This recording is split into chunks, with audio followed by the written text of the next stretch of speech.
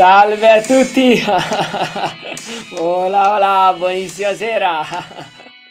Benvenuti in un'altra splendida serata che passiamo insieme. Datemi conferma che mi sentite, che mi vedete bene, magari scrivendo nei commenti che tutto funziona correttamente. Oggi, come ogni mercoledì alle 21, sono sempre qui in diretta per intervistare maggiori esperti italiani di crescita personale e spirituale sono degli incontri interattivi, quindi in qualunque momento della serata, qualunque condivisione senti di fare o domanda che senti di porci, fallo pure nei commenti, saremo super felici di leggerti e di risponderti. Mi conferma che ci sentite bene, magari scrivendolo. che meraviglia. E anche stasera ho un altro ospite molto speciale che è il professor Franco Fabbro, medico, neurologo accademico e ricercatore scientifico. Quindi diamo il benvenuto al professor Franco. Ciao. Che bello, grazie eh, per essersi unito a noi in questa diretta. È un super piacere essere insieme stasera. Mm. Uh, per chi non la conosce, uh, io faccio una leggerissima introduzione. Uh, oltre a essere laureato in medicina, specializzato in neurologia, lei ha avuto anche una formazione in filosofia, esegesi biblica, eh, neurofisiologia, eh, neurolinguistica, neuropsicologia, quindi eh, diversi, tante diverse discipline. Eh, è professore universitario, anzi ho appena scoperto che lo è stato fino a un mese fa, eh, è autore di una ventina di libri a carattere scientifico, centinaia di lavori scientifici su riviste italiane e internazionali. Uh, nelle sue attività di ricerca ha approfondito appunto molto tutti questi argomenti legati alla neuropsicologia della religione, il rapporto tra neuroscienze e meditazione, eh, le neuroscienze della memoria, della, conosce- della coscienza, eh, la storia delle religioni, il rapporto tra malattie e spiritualità.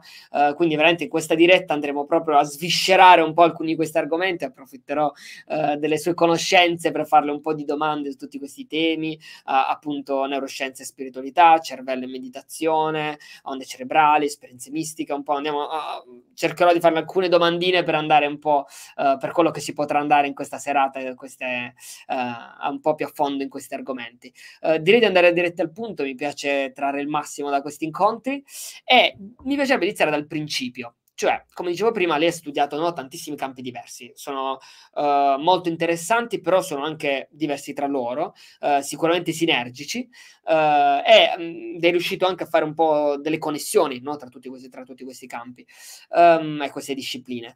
Mm, se ci può raccontare un un pochino della sua storia, uh, cosa l'ha spinta a studiare così tante, appunto, anche discipline diverse, ad approfondire le religioni, la spiritualità, la meditazione eh, da un punto di vista scientifico, però, cosa interessante, no? questa ricerca che lei ha fatto. Ma guardi, io ho iniziato, eh, diciamo, gli studi delle superiori in ambito scientifico, no? le, le, mie superiori sono state, sì, mediamente eh, avevo circa 30 ore, 25-30 ore di materie fisiche, fisica, termodinamica, e ero avviato, diciamo, avevo, ero avviato per una carriera di ingegnere aeronautico. E sono andato nel 1974, un periodo in, a Torino, all'Air Italia, dove si costruivano aerei militari, gli F-104 in quel periodo, e in questi mesi di, diciamo, di lavoro e studio eh, ho visto se, il, i, gli effetti di una industrializzazione spinta, perché Torino negli anni 70 era il massimo della, della, dell'industria italiana, industria aeronautica, e ho avuto, diciamo, una, eh, sì, una, un'impressione molto negativa di dove sarebbe okay. arrivato l'essere umano e quindi ho deciso di mh, spostare il mio interesse verso la filosofia che mi interessava e quindi ho iniziato il primo anno di università facendo una, la laurea in filosofia e anche ho chiesto di eh, poter frequentare come studente esterno il, il corso di, un corso di teologia. No? Quindi frequentavo due corsi di laurea E quindi nel 1975-76 mi sono dedicato quindi ad approfondimenti filosofici, in particolare allo studio di Martin Heidegger, no? E al rapporto tra linguaggio e filosofia. Mm. E dopo un anno però di questi studi, eh, un professore di filosofia mi ha chiesto di parlarmi e, e, ehm, e, mi ha consigliato, insomma, in questo colloquio, un professore anziano, di, di, mi ha detto, siccome ti vedo interessato alla filosofia, seriamente, ti consiglio di cambiare facoltà. Perché la riflessione filosofica non è possibile svilupparla nel mondo moderno eh, se non si hanno delle competenze o di fisica, no? quindi mi invitava a fare la facoltà di fisica, o di medicina. No? E allora, insomma, dopo un po' di riflessioni, ho deciso di lasciare la filosofia, di lasciare la teologia e di eh, iniziare a frequentare eh, medicina. Però i, i, l'anno, quell'anno particolare, non è stato speso in vano perché ho continuato a studiare libri di filosofia costantemente e anche sono diventato amico di un, di un eh, insegnante di uno dei maggiori, eh, diciamo, esperti di esegesi biblica, per cui eh, sì, frequentavo studi- medicina dalle 9 alle 5 del pomeriggio e dalle 5 del pomeriggio alle 10 di sera continuavo i miei studi di filosofia. E poi sì, eh, ho, eh, ho, fatto una tesi di laurea sul linguaggio, no? su cosa i linguisti dicono ai neurologi e poi la scuola di specializzazione in neurologia ho continuato ad approfondire la dimensione del linguaggio e eh, ah, de- devo dire ancora una cosa, durante eh, l'anno di studi filosofici e teologici ah, ho dato l'esame di storia delle religioni e mi è capitato in, eh, in sorte, perché ave- eravamo in una decina di studenti e dovevamo fare un approfondimento su una religione. Su una... Ah. Per me, per, per sì, caso, mi è capitato di fare un approfondimento sul buddismo, no? ah. il buddismo zen in particolare. E ah. quindi da, da, quel momento ho cominciato, eh, accanto alla filosofia, agli studi di esegesi biblica, no? eh, eh, a coltivare le, le, la passione, l'interesse per il, per, la, per la, il buddismo e la meditazione in particolare, che diciamo negli anni, in quegli anni lì, ho frequentato molto, no? alcune ore al giorno, no? una o due ore al giorno. E, e quindi sì, poi eh, ho fatto laureato e specializzato in neurologia, ho deciso di eh, lavorare, ho lavorato una decina d'anni in un ospedale e poi eh, sono entrato all'università e circa nel, nel, nel frattempo ho, per esempio, nel 95 ho scritto due libri, mm-hmm. un libro sul mio campo di ricerca accademico, il cervello bilingue, ah. e un libro eh, nei miei interessi particolari, no? destra e sinistra nella Bibbia, uno studio di neuropsicologia, e, e, e soltanto quindi eh, nel 2001 ho terminato la mia carriera accademica, sono diventato professore ordinario, che è il massimo livello, e, e, e ho ripreso gli studi filosofici e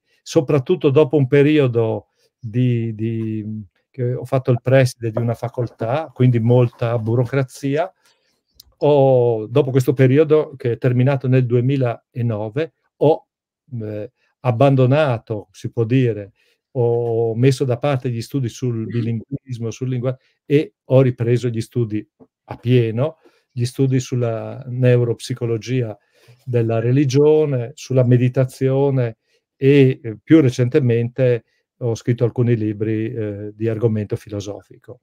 Quindi, eh, quindi sì, ho, ma la mia, la mia, vita è sempre stata condotta su tanti binari, questo, e quindi mh, sono, diciamo, eh, un, mh, la sensazione interiore è quella di uno straniero in qualsiasi diciamo, argomento e anche eh, di non sapere, perché coltivando tanti argomenti vedo i collegamenti, no, ma non saprei dire qual è un argomento che conosco bene, perché sì.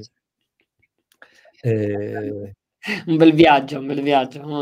Quindi ta sì, ehm, tante discipline, bello questo viaggio, no, dagli anni '70 che l'ha portata poi ad oggi ad approfondire una cosa, poi l'altra, poi l'altra, poi l'altra, poi ritornare, sì, come le dicevo nel 2010 ho ripreso gli studi di neuroscienze e, ehm, spiritualità, Sì. studi che sono che al tempo e anche adesso sono, diciamo, non usuali nel mondo medico e nel mondo accademico. Non vengono visti neanche di buon occhio, eh. Sì. E e i rapporti tra per esempio, tra malattia e spiritualità, Mh-mh. no, ehm, comunque, ehm, hanno piano piano sì, i miei colleghi a e mhmm, sia all'Università di Udine che in Italia, sì, hanno mi hanno inteso come individuo bizzarro e e sì, non insomma tollerato e mi hanno permesso, uhm, 5 anni fa di, ehm, realizzare un master in meditazione e neuroscienze. Ah, Ecco, bellissimo. che che di ehm, a Udine, ehm, da 5 anni si tiene, quindi un corso un piccolo corso che dura 1 anno, però come un corso accademico dove le persone sì, ehm, a si avvicinano a tutte le tradizioni spirituali collegate alla meditazione. Mh-mh. Certo, certo. Bellissimo, bellissimo. Bello, bello. No, mi piace molto, diciamo effettivamente, ehm, interessante anche questo consiglio che le diede quel professore, no, negli anni '70 di farle approfondire, mhmm, ehm, anche al altri ambiti come la meditazione come la medicina nel caso che lei ha approfondito, in questo caso specifico, no, perché effettivamente comunque il mondo delle religioni, ma come lei diceva della filosofia o della spiritualità, quando parliamo ma persino quando parliamo di meditazione, ehm, molto spesso, uhm, molte persone vedono questi questi questi ambiti come, am aspetti psicologici, quindi analizzano, uhm, ecco appunto le religioni o la meditazione soprattutto da un punto di vista psicologico e quindi le indagano dal punto di vista della mente. Invece, ehm, la cosa interessante che io noto del suo lavoro è proprio questo, uhm, di, no, uhm, aver studiato anche questa neuro mhmm, psicologia e quindi aver indagato, no, uhm, tutti questi ambiti, anche c'è un suo libro che si chiama Neuropsicologia dell'esperienza religiosa, no, ehm, ed è stato uno dei tanti libri, che poi lei ha scritto veramente tanti libri su tutti questi argomenti, anche tante diverse sfaccettature, ecco, di questi argomenti. Però è interessante come soprattutto anche questo campo della neuropsicologia, ehm, lei è riuscito proprio a in analizzare, no, queste discipline, però connettendosi anche a quello che è il cervello, il sistema nervoso, al corpo, anche a come funziona il nostro corpo e non solo da un punto di vista psicologico. Ehm, non so se ci può spiegare un poco meglio cosa è appunto questa neuropsicologia e perché secondo lei, ecco, uhm, questa disciplina è importante per comprendere la meditazione, le religioni, la spiritualità, perché queste neuroscienze sono importanti? Ma guardi, ehm, il il comportamento religioso e la meditazione può essere intesa come un comportamento spirituale, ecco, in generale, ha diversi livelli di studio, no, Mh. questi livelli sono per esempio il livello linguistico, no, se noi ci interessiamo alla meditazione dobbiamo leggere i testi, ehm, per esempio o induisti, no, di, mhmm, Patanjali, ehm, nello yoga, oppure i testi che si riferiscono al Buddha, ma questi testi sono scritti in sanscrito, quindi noi dobbiamo cercare di capire che cosa intendevano mentre davano delle spiegazioni in sanscrito.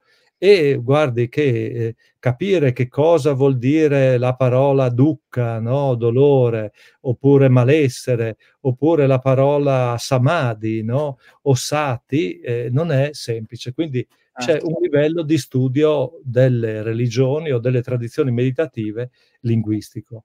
Poi c'è un livello antropologico, perché, ehm, questi questi aspetti religiosi, no, ehm, accadono in determinate culture, no, ehm, che hanno determinati usi, costumi e quindi per affrontarli bisogna conoscere anche il livello antropologico, economico anche, no, sociale. Ehm, per esempio il Buddha era in origine un guerriero, e quindi questo fatto, ehm, fa sì che tutto i suoi insegnamenti siano insegnamenti, ehm, eh, rigorosi, no? di un guerriero di pace. No? Ecco. E, e, anche Gesù, per esempio, Gesù era un, probabilmente un nobile, no? discendente della casa di Davide, che eh, sì, eh, essendo un discendente della casa di Davide, quindi un potenziale, eh, ehm, poteva diciamo rivendicare il titolo di re di Israele, quindi bisogna capire cosa significa re di Israele in quel contesto storico, culturale, antropologico. Ovviamente sia la religione che la meditazione, oltre al livello linguistico, antropologico, psicologico che ha detto lei, c'è anche un livello fisiologico, no? di cui dirò alcune cose subito dopo che ho finito di parlare di questi livelli. Però la religione è collegata anche, per esempio, alla chimica, perché durante un'esperienza religiosa è possibile studiare, per esempio, la modificazione non solo fisiologica, ma anche chimica dei neurotrasmettitori, no? l'uso di sostanze, per esempio, in tante tradizioni religiose psicotrope. No? Certo e, e anche a dei livelli eh, fisici, no? eh, come si medita, eh, se si medita nello spazio, no? dove non c'è gravità, oppure sulla Terra, eh, non è indifferente. Quindi eh, è possibile ed è utile affrontare questi argomenti da tutti questi eh, livelli, ma nessuno di questi può spiegare tutto. Ecco. No? Quindi, per esempio, l'errore di Freud era di credere, a riguardo della religione, che eh, il livello della psicologia clinica permettesse di spiegare la, eh, il fenomeno religioso. In qualche caso aiuta a capire qualche individuo religioso, ma eh, è uno degli aspetti, cioè, poi ce ne sono altri, c'è quello filosofico, c'è quello spirituale, quindi eh, eh, il, il, livello medico, neuropsicologico è uno dei tanti e unito agli altri ci aiuta a comprendere meglio il fenomeno. Come procediamo? Eh, per esempio, negli anni 2005-2006 mi sono chiesto il problema, eh, mi sono fatto la domanda, cosa succede della spiritualità delle persone che subiscono operazioni chirurgiche al cervello? e eh, la loro spiritualità cresce o cala a seconda della zona tolta, no? Perché eh, lei sa che insomma tante persone purtroppo hanno dei tumori cerebrali e certo. quindi bisogna togliere il tumore anche delle zone circostanti. E eh, parlando con un neurochirurgo di Udine molto competente, abbiamo dato origine a una ricerca che è, diciamo, una delle più importanti che è stata pubblicata a livello mondiale e abbiamo studiato circa 300 persone, pazienti, a cui eh, sono stati tolti, eh, tolti dei pezzi di corteccia cerebrale nella parte frontale oppure nella parte posteriore, parieto temporale, di tumori molto, eh, diciamo, aggressivi, di tumori benigni, no? perché bisogna fare tutta una serie di, eh, diciamo, valutazioni. Abbiamo scoperto che se mh, mm, eh, c'è la lesione nell'area frontale, il paziente diminuisce la spiritualità. Come i, come i pazienti con Parkinson, questa malattia abbassa la spiritualità perché la spiritualità è collegata con il lobo frontale e con la dopamina in ah. particolare, un ah. neurotrasmettitore. Invece le lesioni del lobo parietale, soprattutto di una struttura del lobo parietale, il, eh, del lobo parietale destro, il giro angolare, se questa struttura viene tolta, la spiritualità cresce moltissimo. Ah. Quando lei intende, dice la spiritualità cresce, la spiritualità cala, cosa intende? Cioè intende che ci, ben, ci sono dei neurotrasmettitori o um, come viene analizzata l'esperienza della persona per capire che beh, la spiritualità beh, cresce? Beh, Beh, lei sa che la scienza, da, eh, diciamo, che è stata fondata dalla eh, scienza moderna da Galileo, eh, si basa sulla misurazione. Esatto. Mm-hmm. Noi abbiamo, diciamo, noi parlo dei ricercatori nell'ambito mm-hmm. della, delle neuroscienze, messo a punto dei test per misurare la spiritualità. Okay. No? Quindi c'è un test che si chiama test di temperamento e carattere, no? Eh, che ha una parte eh, che riguarda l'autotrascendenza, ma ce ne sono tanti altri. Eh. Ah, benissimo, capisco, capisco benissimo. E beh. quindi noi abbiamo sottoposto questo test prima dell'operazione e dopo l'operazione ah. e dopo sei mesi, no? E le dicevo che quindi abbiamo visto che c'è abbiamo cominciato a identificare alcune delle zone del circuito complesso della spiritualità. Mh-mh. E, ehm, in particolare abbiamo visto quest'area del giro angolare di destra che è collegata con i fenomeni di uscita fuori dal corpo. Altri ricercatori avevano visto che la stimolazione elettrica di quella zona, una stimolazione che deprime l'attività del giro angolare dentro, determina nei pazienti, durante interventi neurochirurgici, pazienti svegli, Sì. determina la sensazione di uscire fuori dal corpo, no, che, ehm, è stata collegata al concetto di anima, no, il concetto di anima, ehm, sembra sia dovuto a questo a una riflessione su questo fenomeno che capita anche alle persone normali in circa il 15% della popolazione, no. E recentemente, questo accadeva nel 2010, abbiamo pubblicato il lavoro su una rivista molto prestigiosa che si chiama Neuron, no, ehm, le basi in inglese il titolo era "Le basi neurologiche della spiritualità". Ah. Recentemente l ehm, l'anno no, quest'anno, con un gruppo di Harvard abbiamo, uhm, diciamo messo insieme tutte le ehm, tutti i casi che hanno studiato a Harvard e e e i nostri casi, e che avevamo studiato a Udine e altri anche, e, ehm, abbiamo, uhm, dato un un abbiamo capito un ulteriore punto, ossia abbiamo trovato, oltre a questo giro angolare, una struttura molto arcaica del cervello dei vertebrati, il grigio periacqueduttale, ehm, fortemente implicata con la spiritualità negli umani. Però pensiamo, almeno io penso, che siccome questa struttura è presente anche, ehm, ne nei pesci, negli anfibi, nei rettili, anche loro abbiano, diciamo, una qualche forma di spiritualità che, insomma, non sappiamo bene come, ehm, viene vissuta, Certo. no, però quindi la spiritualità vede ha a che vedere per esempio quel centro, ehm, e concludo, quel centro quel giro angolare è un centro collegato con, ehm, il l'orientamento spaziale e Ah. l'equilibrio.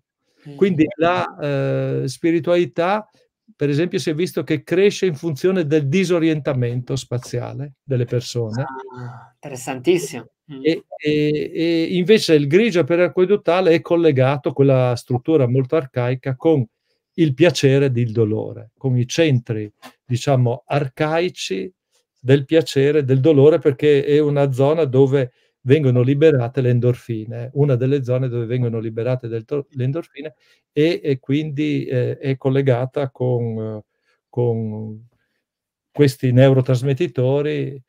Ehm, sì, Che parte del cervello quest'ultima zona che sta descrivendo? E ehm, quest'ultima zona si trova nel tronco dell'encefalo. Ah. È una struttura che si trova nel nella porzione posteriore del collo, subito sotto il cervelletto. Mh-mh. La struttura fondamentale per la veglia, il sonno, il coma. Quando un paziente entra in coma in genere ha una lesione in questa struttura, Mh-mh. diciamo, del tronco dell'encefalo. E quindi questo è così per farle un esempio di come si lavora in Sì, ambito interessantissimo. No, ha già detto tante cose molto interessanti. Molto bella anche quella cosa che ha detto all'inizio, ehm, di come effettivamente è un errore che io vedo fare molto spesso, di come a volte è un fraintendimento, no, perché analizziamo un'esperienza come la spiritualità o le esperienze spirituali solo da un punto di vista. Ecco, e quello è giusto in effetti è interessante definire che è un punto di vista parziale, perché è un'esperienza che ha tante sfaccettature. Come lei dice, no, può essere analizzata da tanti punti di vista, non solo dal punto di vista neurologico, non solo da quello psicologico, non solo da quello spirituale, non solo da quello chimico, ma probabilmente solo analizzandola da tutti questi punti di vista insieme riesci ad avere forse un minimo quadro più chiaro, però è è un'idea, un'idea. Sì, mi son dimenticato di dire una cosa importante dal punto di vista filosofico, che tutto questo approccio scientifico, linguistico, antropologico, psicologico, neuroscientifico, chimico, è viene chiamato viene detto prospettiva in terza persona, ossia è come io guardo un oggetto di studio, no, per esempio, io guardo questo paziente, misuro la sua spiritualità, però esiste un altro aspetto che si chiama prospettiva in prima persona è l'esperienza della persona. Questa non è questa è diciamo possiamo comunicare questa esperienza, ma non è studiabile in maniera completa mai, no? Certo. Quindi quindi questa prospettiva in prima persona è si chiama esperienza ed è fondamentale, perché uno sì, se ha un'esperienza spirituale o religiosa, va bene, può studiarla, può analizzarla linguisticamente, neurologicamente, però per lui avrà sempre una particolare importanza indipendentemente da qualsiasi metodo certo, di studio scientifico. Certo, certo, no? uno dice: "Ma non capisco bene questa cosa." Si può dirla in altre maniere. Per esempio, affrontiamo un tema molto delicato, la morte, no? Uno può studiare scientificamente la morte di un'altra persona, no? C'è il paziente che sta morendo, noi facciamo l'elettroencefalografia, il, eh, il, eh, l'analisi del battito del cuore, no? e vediamo che piano piano anche nei film si vede che il cuore smette di battere. Questo è lo studio della, di, diciamo, di una morte di una persona dal punto di vista in terza persona, oggettivo. Però la persona che sta morendo la vive in un'altra dimensione. E, e quindi questa è la differenza tra esperienza, che è la persona che attraversa la vita no, e la lascia, e chi guarda. No? E quindi eh, la scienza a lungo ha dimenticato questa esperienza o questa prospettiva in prima persona, ma è fondamentale anche nel percorso, per esempio, meditativo. Mm, certo, quello, certo. quello, che si sta cercando di fare adesso è di, eh, se possibile, e si è cominciato, congiungere le due, studiare le esperienze spirituali in prima e terza persona. Mm. Bellissimo, bellissimo, molto importante. No, è interessante perché eh, per me è interessantissimo, anche perché io in realtà ho fatto un percorso opposto, nel senso che io sono giovanissimo, uh, ho avuto la fortuna perché mio padre era un maestro spirituale molto famoso in Italia, uh, che aveva un ricercatore spirituale di tutta la vita, quindi quello era stato il suo campo di ricerca più nell'ambito di diverse tradizioni spirituali, più di stampo orientale, però anche diverse altre.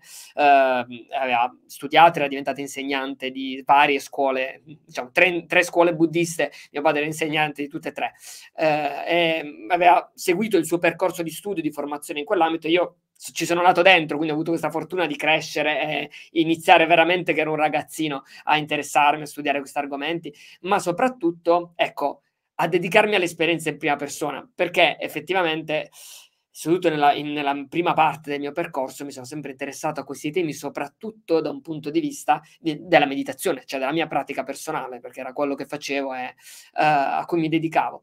Uh, solo a un certo punto, quando mio padre, diciamo, ha lasciato il corpo, quindi ha lasciato questo mondo ed è morto mh, nel 2016, diciamo, sei anni fa, il, ho iniziato a quel punto a insegnare, diciamo che era una grande comunità lasciata da mio padre, uh, e ho iniziato a quel punto a insegnare e lì ho iniziato invece a, a rendermi conto di quanto anche è importante, come quello che lei sta dicendo, no? di studiare questa esperienza anche in terza persona, perché in prima persona comunque rimane soggettiva, cioè la tua esperienza. Quando però giustamente mi sono ritrovato a sbattere la testa no? con le difficoltà, i problemi, anche la, le necessità di ogni singola persona che sono differenti, no? di comprendere, di capire anche la necessità che abbiamo noi occidentali, come lei diceva all'inizio, no? di capire veramente questi argomenti, ecco cosa significano questi termini, perché funzionano certe tecniche, certe meditazioni, eh, perché dobbiamo farle. Noi come occidentali abbiamo bisogno di avere anche, eh, forse anche di più degli orientali. Io ho notato nella mia esperienza che eh, come se a volte sono un po' più istintivi, più di cuore di noi, più istintivi, più, eh, ecco, su questi argomenti, mentre noi abbiamo molto bisogno no, di avere chiaro prima quello che stiamo facendo, prima di farlo. Eh, e là ho iniziato a divorare un sacco di studi, di ricerche a, e a lavorare anche con vari uh, scienziati di diverse discipline uh, per capire veramente bene come funzionano certe cose e perché funzionavano, perché prima io le facevo, praticavo non mi chiedevo perché funzionassero le cose, i miei maestri mi dicevano di farle, io le facevo e funzionavano, lo vedevo nella mia esperienza, no? E... era, un era, un po' stile orientale. Esatto, sì, era sì. un po' stile orientale. Sì, io penso che noi in Occidente dobbiamo senz'altro in questi cammini eh, coltivare la pratica E però dobbiamo anche essere consapevoli degli aspetti, sì, perché ehm, scientifici, perché la l'Occidente è la la culla del pensiero critico, no, possiamo dire. E poi anche, uhm, secondo me è importante anche la dimensione umanistica, no, gli studi linguistici, storici, e e quindi e da questo insieme per esempio il master di cui le parlavo, di meditazione e neuroscienze, è un master che sì, ehm, in cui viene dedicata molta attenzione agli aspetti scientifici, umanistici e alla pratica, no, e anche un altro aspetto che de mi deriva dalla dall'interesse per le lingue, no, che è originario è uno degli interessi originari, no, ehm, io mi sono reso uhm, reso conto a un certo punto che le religioni sono come le lingue, no, e che, ehm, non ce n'è una migliore di un'altra, no, con in alcune lingue si dicono meglio certe cose, in altre si dicono meglio altre cose e che, nel mondo per sviluppare tolleranza e capire gli altri bisogna conoscere, se è possibile, molte lingue e così anche molte tradizioni religiose, no, quindi,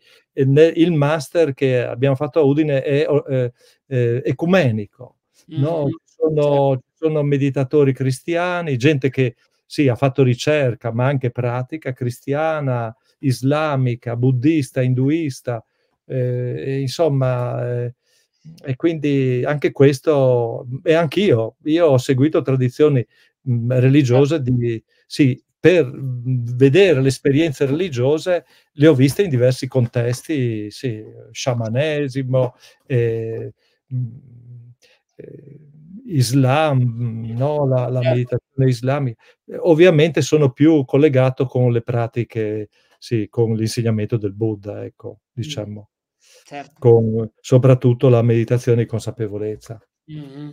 Mh-mh. Bellissimo, bellissimo. Torniamo all'argomento ciò di cui stava parlando prima. Mi piacerebbe andare un poco più in profondità in cui di quello di cui stava parlando, cioè appunto co ciò che avviene nel cervello, uhm, quando si fanno quelle appunto quelle esperienze mistiche che possono avvenire con il tempo, uhm, seguendo qualunque autentico percorso spirituale, religioso, praticando la meditazione.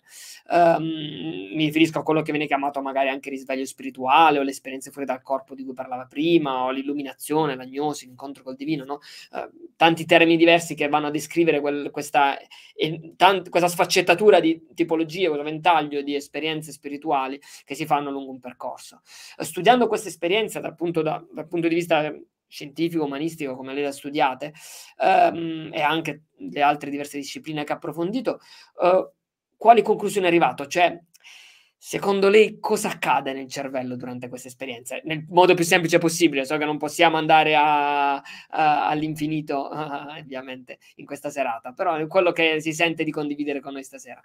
Ma guardi, beh, se uno vuole diciamo vedere un po' che le mie opinioni a riguardo può leggere il libro "Neuropsicologia dell'esperienza religiosa", Sì. che oramai ha 12 anni, ma insomma sostanzialmente affronta questo discorso, no, però potrei, per rispondere alla sua domanda, ehm, diciamo usare un po', se vuole, la la metafora del cammino che ha indicato il Buddha, no, secondo me il Buddha è è stato una un grande psicologo e anche uno dei più grandi educatori, perché è riuscito a indicare la strada in una maniera, secondo me, semplice. E lui, mhmm, sostiene questo, no, per ottenere la liberazione, no, che è è necessario, ehm, riconoscere alcuni aspetti, no, e, ehm, seguire lui parla di un ottuplice sentiero, no, ehm, o 8 passi, e, ehm, i primi 5, possiamo dire 4 o 5, sono dei passi etici, no, ehm, non è possibile secondo me, ehm, avere una una mhmm, ehm, diciamo raggiungere un obiettivo spirituale, ehm, profondo Mh. e duraturo se non si, ehm, aderisce a una visione etica minimale insomma, no, Certo. e ehm, poi dice che oltre e quindi questi sono i primi 5 passi. Gli ultimi 3 passi riguardano le tecniche più Mh-mh. E e le ehm, in particolare, ehm, indica che ci sono come forme, ehm, di di di liberazione, quindi, ehm, si devono praticare delle tecniche meditative che lui ha insegnato e, la mhmm, 2 in particolare sono interessanti. Una è la pratica di la meditazione di consapevolezza, ehm, che si chiama sati in in sanscrito e l'ultima è la meditazione, ehm, che si chiama di medif mo meditazione unitiva che si chiama samadhi. E allora, per esempio la le vie ehm, le vie induiste privilegiano il samadhi. Il samadhi è praticamente abbandonare la coscienza individuale per raggiungere una coscienza Mh-mh. l'uno insomma, e e e che ovviamente è una cosa, ehm, fondamentale, no, uhm, superare la dimensione egoica, eccetera. Però il Buddha sottolinea che questo percorso, se non, ehm, si è fatta il lavoro sulla pratica di consapevolezza, può produrre quelli che vengono chiamati i ehm, diciamo i gli illuminati nevrotici, ovvero delle persone, sì, che, ehm, non hanno hanno raggiunto un alto livello, ma non sono sufficientemente purificati, no, Mh. quindi la meditazione di consapevolezza è una strada, ehm, fondamentale secondo lui e anche secondo me, e questa meditazione di consapevolezza non è solo, ehm, diciamo una pratica quindi, della meditazione, ma è un ehm, il la meditazione di consapevolezza è sostituire abitudini negative o, uhm, problematiche per la persona con abitudini, ehm, ehm, positive, ovvero con la consapevolezza, no, e questo significa, ehm, lentamente modificare la personalità. Mh-mh. Quindi, ehm, è possibile ottenere delle esperienze spirituali anche senza fare questo lavoro, Certo.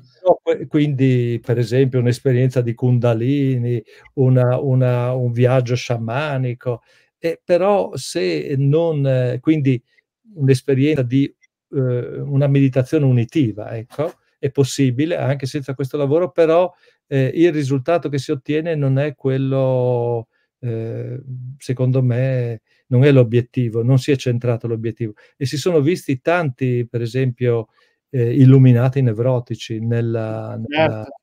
nella storia sia occidentale che orientale. Quindi, ehm, la il percorso è è è complesso. È fatto Sicuramente. è fatto in questa maniera, mhmm, di lavoro su di sé, no, e di di un minimo di di attività e etica e, ehm, poi, ehm, il il il balzo. Noi abbiamo studiato nel libro Neuropsicologia dell'esperienza religiosa più, mhmm, cosa succedeva nel cervello durante questi, ehm, momenti di ehm, ehm, di di unione al tutto, ecco. E son stati studiati, sì, in vario modo, no, Mh-mh. Soprattutto sì, ehm, mhmm, perché ci vuole anche per questi aspetti una ricerca, no, non è Certo. ehm, per esempio, uhm, William James, uno psicologo del mhmm, che è vissuto fino nei primi è morto nei primi anni del '900, uno dei più importanti, ehm, ha scritto un libro "Varietà delle esperienze religiose" e ha indicato la strada, ehm, degli studi neurologici, era un neurologo anche lui oltre che psicologo, ehm, difatti prima il primo capitolo è intitolato "Neurologia e religione", e, ehm, lui per esempio usava il protossido d'azoto, no, e ha descritto molte esperienze spirituali che aveva provato lui, ehm, le ha messe in incognito, ehm, sotto l'effetto del protossido d'azoto. Io nel mio libro ho descritto, 2 o 3 esperienze personali, religiose, senza l'utilizzo di sostanze, però sì, per raggiungerle, mhmm, mi son dovuto impegnare alcuni anni, ecco. Certo, certo, E cer e comunque non ero ancora e non sono ad un livello, diciamo, di purificazione personale per raggiungere l'obiettivo in maniera, sì, completa come immaginiamo abbia raggiunto Mh. probabilmente il Buddha. Ecco, Mh-mh. Buddha che mhmm, Buddha significa colui che si è risvegliato, insomma. Certo, certo, certo. Interessantissimo, interessantissimo. Sì, sicuramente saranno mh? Vada, vada. Questo è una discussione generale. Poi ci sono ci sarebbero aspetti tecnici, Sì. ehm, diciamo su però è come la vedo io, quindi il percorso secondo me va fatto in 4 direzioni. Una direzione è il minimo ehm, quel minimo di, ehm, diciamo comportamento etico dei primi Certo, 4, 5 passi, poi, ehm, c'è il el la ehm, sostituire le abitudini negative che sono alla base della costruzione dell'io, eh, dell'ego, no, queste abitudini, Certo. ovvero, ehm, la la noi da piccoli abbiamo imparato a reagire, diciamo, desiderando, odiando, oppure non prestando attenzione alle cose. Ecco, quindi ehm, e questo si fa attraverso la mhmm, secondo il Buddha, attraverso la pratica, la meditazione di consapevolezza e poi ci sono i sì, la il percorso del samadhi, ehm, che è sì, l'ultima tappa e, ehm, insomma, e anche l'uso del samadhi, no, perché per esempio per il Buddha, ehm, le persone dovevano cercare di addestrarsi a raggiungere uno dei primi 2 o 3 livelli di samadhi e praticare la meditazione di consapevolezza in uno stato di samadhi. Mh, interessantissimo, bellissimo. Mh-mh. Importante, bello. Sì, sì, sì, sì. Quindi questa è un po' la mia idea. Poi Certo. se uno se uno poi l'esperienza religiosa si è visto, può capitare del tutto in maniera inaspettata a chiunque. Certo, A certo. chiunque, no, e ci sono delle persone che non hanno fatto nessun percorso e sono arrivati, Sì. no, magari fanno i pastori, no, sono sempre nella natura, stanno con le pec insomma non è non è perché sì, l'arrivare è una è un sì, un un sentire interiore oltre che un vissuto esteriore. Mh, certo, beh, oltre certo comunque fare l'esperienza è diverso da stabilizzare l'esperienza poi in ogni momento, Sì. Ed è sicuramente anche esistono tanti stadi diversi di quell'esperienza. Uhm, però sì, è vero, alla fine come si dice spesso nelle tradizioni spirituali è una grazia, a volte non sai neanche perché accade, però sono quelle co quelle cose che lì entri in un ambito che è difficile da spiegare, ecco. Entri in Beh, no beh, no, però dobbiamo non dobbiamo metterla secondo il cristianesimo di Certo. Paolo, no, che la liberazione è data dall'alto. No, è Certo, un cer lavoro è un lavoro individuale, no, qualcuno può avere, diciamo, la grazia, qualcuno, ma è meglio lavorare. No, poi, ehm Certo, cer no, vabbè, ma, è ovvia Sì. è ovvio no. anche perché comunque, come dicevo prima, non significa niente. Tante persone appunto fanno quell'esperienza, ma anche appunto guardi il momento di un rapimento estatico, sei in un'esperienza estremamente coinvolgente, entri in uno stato effettivamente alterato a volte di coscienza, ma non è quello, cioè quello è un comunque è un primo stadio di quell'esperienza, poi si può andare sempre più in profondità, quindi Bi bise bisogna dire anche una cosa, che l'esperienza religiosa ha molti punti di contatto con la dimensione sessuale. Molti punti di contatto e diciamo la sessualità e la spiritualità sono collegate, una buona sessualità, penso io, non è possibile senza anche un percorso spirituale, perché ad esempio l'esperienza di abbandonarsi, che è tipica della dimensione spirituale, è anche fondamentale nella dimensione sessuale, per esempio. Certo. Il controllo il controllo non permette di vivere in maniera, ehm, diciamo armonica, equilibrata, piena, ehm, questa dimensione. Per cui anche questo sì, questo è un altro filone di interesse e ci sono tradizioni spirituali che lavorano Certo. in ambito, ehm, sessuale, no? Sì, sì, sì, assolutamente. Mh-mh, assolutamente. Bello, bello, bello. Io approfitto ancora un momento delle sue conoscenze, ehm, le faccio una domanda, un poco folle, però un po' buffa, approfitto appunto di essere qui insieme stasera. Ehm, andiamo appunto un poco più in profondità ancora in quest'ultimo punto che lei giustamente sia come samadhi, come lo descrive il Buddha, ehm, è nei tanti stadi che ci sono di questa esperienza, ecco, di questa esperienza spirituale, diciamo le esperienze più spirituali un po' più profonde, ecco, quando si entra- si inizia a entrare sempre di più in stati di coscienza sempre più profondi. Um, diciamo appunto questa la piena illuminazione spirituale, diceva, quella che probabilmente aveva realizzato il Buddha, ehm, quella proprio la completa illuminazione spirituale, che è la vetta alla fine di ogni autentica tradizione spirituale, eh, non è sicuramente un fenomeno solo psicologico, appunto, come dicevamo prima, ma è un fenomeno che coinvolge l'essere umano nella sua interezza, no? perché trasforma anche il nostro corpo, il nostro cuore, la nostra mente, come dicevo prima, il nostro cervello, eh, la nostra coscienza, no? Uh, e le, le, tradizioni spirituali lo chiamano in modo diverso. Io sto riferendo a stati quelli proprio più profondi, più profondi. Nella zona Himalayana spesso lo chiamano il corpo di luce, o i tibetani lo chiamano appunto il corpo d'arcobaleno, i taisti il corpo del drago d'oro, no? prende tanti nomi diversi, soprattutto nella zona himalayana, però ci sono parallelismi con tante altre tradizioni spirituali, anche non di stampo orientale.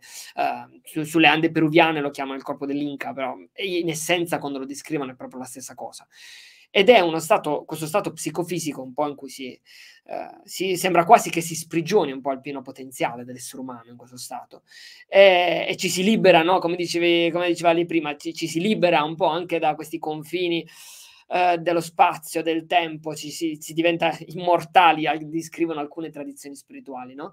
uh, però la piena illuminazione spirituale è che in questo stato avvengono anche tanti fenomeni molto fuori dall'ordinario che nelle tradizioni spirituali vengono descritti no, come effetti collaterali della pratica. Eh, quindi anche si manifesta effettivamente a tanti livelli questa realizzazione. Uh, mh, io diciamo, mh, per esempio, alcune tradizioni spirituali no, dicono addirittura che si arriva a emettere letteralmente luce dal corpo. Esempio, sì, la, una tradizione dei Keiro dice se tu non emetti effettivamente luce dal corpo, non sei pienamente illuminato. Questa è una tradizione antichissima. Uh, sono deriva dagli Inca in ambito di soprattutto nelle Ande peruviane. Il, eh, però loro hanno questa descrizione che è molto interessante perché coincide con molti punti, per esempio, della via del Bodhisattva, nella tradizione buddista maiana, eh, però è anche interessante, ci sono tanti altri fenomeni che le tradizioni spirituali descrivono, no? appunto come effetti collaterali della pratica.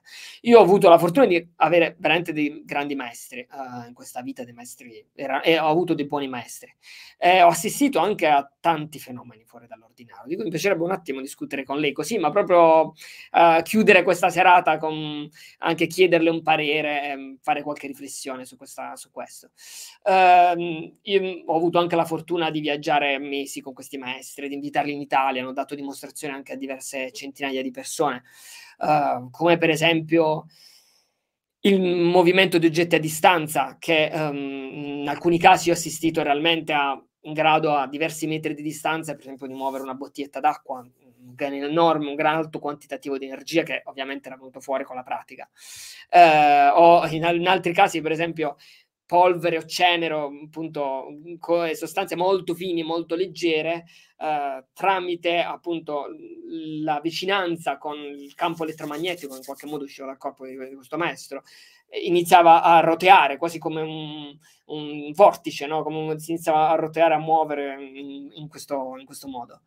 Ehm, o, o, in grado magari no, di emettere così tanto calore con le mani, perché si produce così tanto calore nella pratica, da accendere un fuoco, letteralmente. Mm, la mano inizia a fumare e un pezzo di carta accende effettivamente, eh, prende fuoco.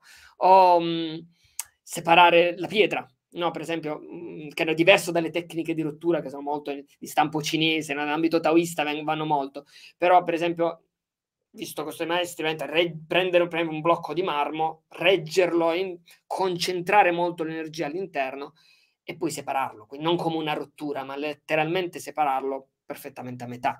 Uh, cose di questo genere, giusto per fare capire, non so se io ho mandato alcuni video, uh, in uno c'erano proprio alcune dimostrazioni di questi fenomeni, se vuole gliele faccio vedere, perché ce l'ho, uh, forse lo riesco pure a farlo vedere adesso, un momento e poi ci ritorniamo. Uh, però sono, eh, ho diversi video registrati in Italia davanti a centinaia di persone di fenomeni di questo tipo, poi sono argomenti che comunque studio e mi interessano molto. se vuole le posso far vedere anche adesso e poi continuiamo a ah, parlare. Ah, sì, sì, sì, come vuole lei, sì, non c'è... Bello, sì, questo è un Vediamo cosa c'ho. Ho, ah, forse ho qua a disposizione un video che viene da una tradizione eh, tutto in ambito taoista, si chiama Nei Qigong, quindi un ambito di stampo più mh, mm, nell'ambito cinese del taoismo, quindi di pratiche energetiche taoiste. Questo video nello specifico che ho qua al momento. Uh, già, poi ho avuto anche diversi altri maestri. Vediamo prima questo video e poi continuiamo a parlare. Va bene, un momentino, tanto, è brevissimo, eh, dura, durerà veramente pochi secondi.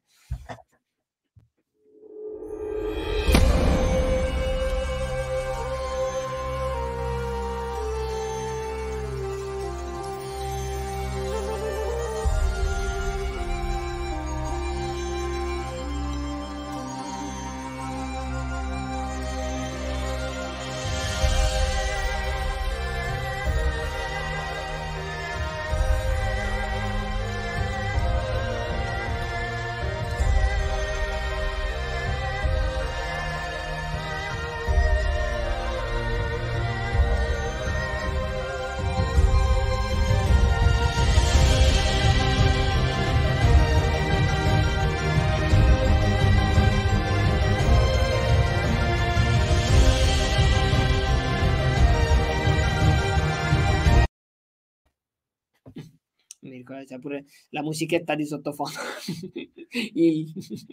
Ma guardi, diciamo, il, il eh, bisogna, sì, per affrontare questi argomenti avere delle sì, competenze certo. e, e, e, studiare le cose in, in, maniera, diciamo, sistematica. Io non, non ho particolare esperienza di, di questi studi, no? Mm-hmm.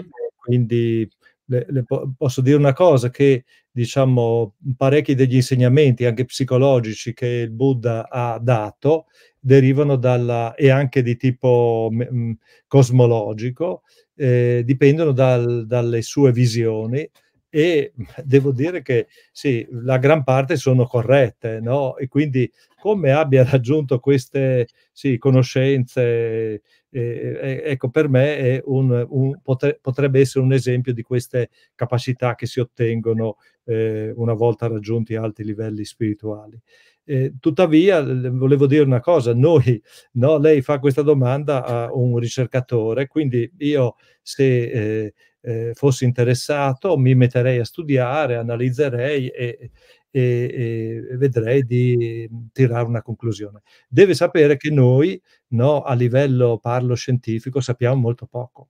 No? Mm, certo. e, l'idea che la gente ha della scienza è, secondo me, per gran parte mediamente sbagliata. La scienza è un insieme di teorie, di racconti, no, eh, sottoposti a verifica, eh, a diciamo possibilità di essere cambiati, no? soprattutto in base agli errori, ma non c'è nulla di definitivo. Non, eh, ehm, la scienza è la, il, luogo dove i dubbi, diciamo, si accrescono di giorno in giorno. Certo. Il resto è eh, religione degradata, no? Quindi eh, eh io non sono contrario a nulla, eh, tutto merita di essere indagato e eh, approfondito, perché noi sappiamo molto poco da un punto di vista della materia, sappiamo molto poco della chimica, molto poco della, della biologia e quindi eh, molto poco anche dell'universo, non parliamo della psiche, sappiamo quasi niente. E quindi secondo me eh, tutto è possibile. Certo, ci sono anche dei fenomeni di suggestione, di, di, eh no? bisogna quindi analizzarli, e, però io non... Eh, sì, il, il, eh, la, la, scienza ordinaria è più soprannaturale del na- soprannaturale. no? Quindi non, non, eh, l'atteggiamento, infatti, penso che l'atteggiamento religioso sia quello mh, autentico di una persona che sa di essere di fronte al mistero, anche scientifico, anche certo. scientifico. Ovviamente questi discorsi che faccio non piacciono a chi ha una visione mercantile del, certo. del mondo, no? Della, usa la scienza per fare affari, oppure usa la scienza per governare o diciamo reprimere. Non è così, la scienza non ha, non ha eh, si, si, nutre del dubbio e delle domande. E quindi queste sono domande eh, interessanti, molto interessanti che vanno a, che si dovrebbero approfondire, che certo. si dovrebbero, sì, eh, invece di dedicare energie per distruggere e, e, e, e, soldi, sarebbe, bisognerebbe dedicare energie per questi ambiti. Però l'ambito spirituale e religioso eh, non, non, è, come le dicevo, immediatamente nelle università, nelle strutture statali sono interessate a che venga studiato per vari motivi. Certo. e, quindi, e, quindi, e però devo dire una cosa, che senza l'approfondimento di questo settore, eh, la medicina guarderà gli esseri umani come delle macchine, eh, che gli esseri umani non sono delle macchine. Quindi eh, eh, non, non eh, diciamo, indagare il lato spirituale, religioso, anche psicologico, così esistenziale, è un danno per, per tutte le persone, perché noi abbiamo bisogno di una, un modo di curare le persone nuovo, no? dove tutta la tecnologia, tutti i farmaci che sono utili vanno impiegati, non c'è da togliere nulla, ma c'è da aggiungere eh, questo settore. No? Quindi, perché senza un significato le persone non guariscono quando si ammalano. Certo. No? No? Quindi è un, è un, salto che dobbiamo fare no? e anche capire che sì, come le lingue, eh, questa è una cosa un po' difficile, no? nel, soprattutto nel mondo occidentale che pensa di aver ragione solo lui, capire che le tradizioni spirituali, come le lingue, devono essere praticate, conosciute insieme. Mm, non certo. ce n'è una migliore di un'altra. Ognuno di noi ha la sua tradizione eh, linguistica certo. e spirituale collegata con la lingua madre, la religione da cui proveniamo.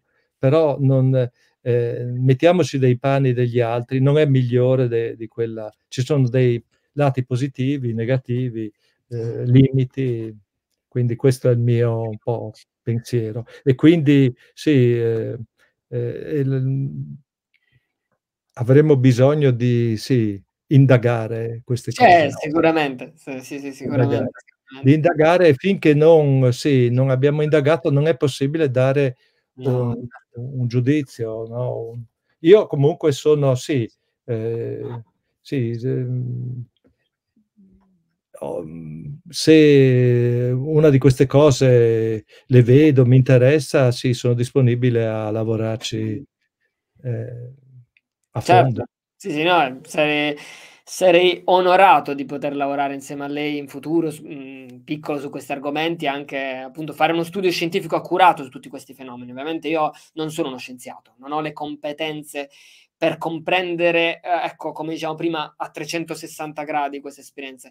Io, io, vengo da quel mondo, quindi è quello il mondo che io conosco e, e, questa è una delle cose che l'ho fatto vedere adesso, ma ne conosco tante di quest'ambito. Ripeto, ho avuto la fortuna di avere come maestri anche tipo le, a me piace definirli come dei dinosauri, sai, delle, una, una razza in via di estinzione di questi maestri che Uh, sembra quasi che vengono da un'altra epoca di cui forse ne esistono, si possono contare sul palmo di una mano quelli che oggi esistono veramente di, di questo tipo.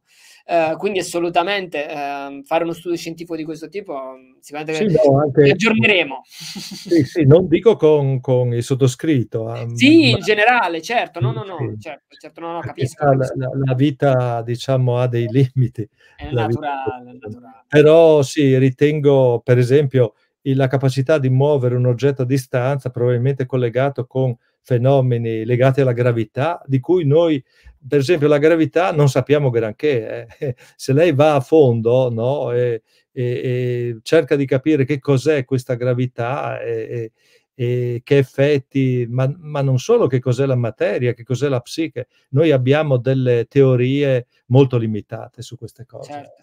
No? Purtroppo qualche volta, diciamo, agiamo no, credendo di sapere più di quello che sappiamo e facciamo, eh, sì, eh, creiamo dei problemi, ecco. Mm-hmm. Bene, bene, bene, bene. Molto interessante, molto, molto anche questa...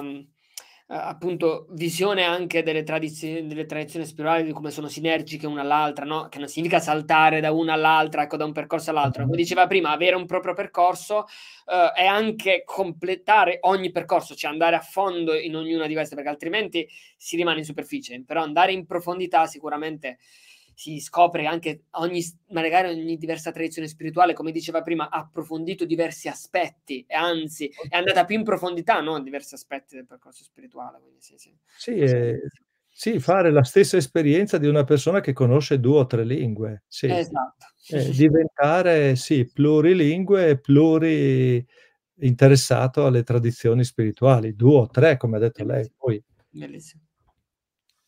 Bene, dai, io consiglio, uhm, di riascoltare questa intervista domani quando verrà pubblicata la registrazione, perché veramente ci sono tantissime informazioni di valore. Io la ringrazio professore, eh, per tutte le informazioni interessanti che ha condiviso con noi stasera. Direi che stiamo arrivando alla fine, abbiamo fatto una buona ora. Uhm, le chiedo come si fa a seguire il suo lavoro, a a restare in contatto con lei. C'era una persona prima che chiedeva dove tiene il suo corso accademico, il master di cui ha parlato all'inizio, uhm, Ma lei i il master si tiene all'Università di Udine, no, ehm, però, mhmm, diciamo che sto, uhm, pensando a una diciamo, a come, ehm, insegnare delle cose in una maniera un po' diversa, quindi, Mh, certo.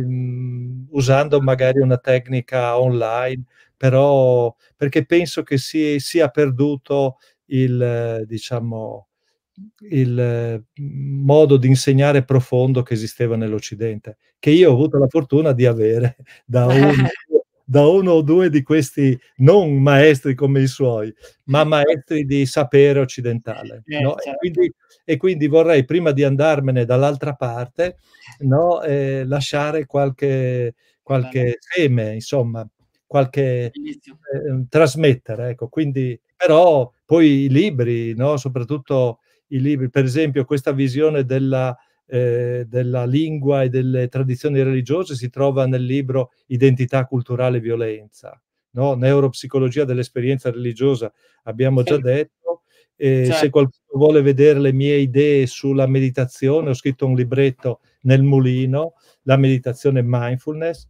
ma, ehm, diciamo se uno invece vuole impegnarsi in cose, ehm, sistematiche sui rapporti tra scienza, spiritualità, e e allora può leggere gli ultimi 2 libri: "Che cos'è la psiche", no, ehm, ricordiamo che il Buddha ha detto che tutto quanto importa tutto quanto importa, uhm, diciamo nel mondo accade nella psiche, no, e quindi bisogna conoscerla questa psiche. E quindi c'è questo libro, oppure un ultimo libro un po' più divulgativo, no, "I fondamenti biologici della filosofia", ecco, ehm, ehm, però in futuro, come le dicevo, vorrei sì, inaugurare un po' questa strada, adesso sto pensando come, di di una via diversa dall'università per lasciare delle idee e discutere insieme eh, non solo Certo. non solo insegnare, no, discutere insieme.